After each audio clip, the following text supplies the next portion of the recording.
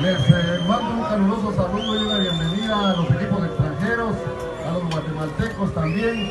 Así se siembra el futuro de un país, derramando adrenalina, pero en las carreteras y no aquellos que solo se dedican a criticar y que no tienen en su pensamiento más que hacer el daño al país.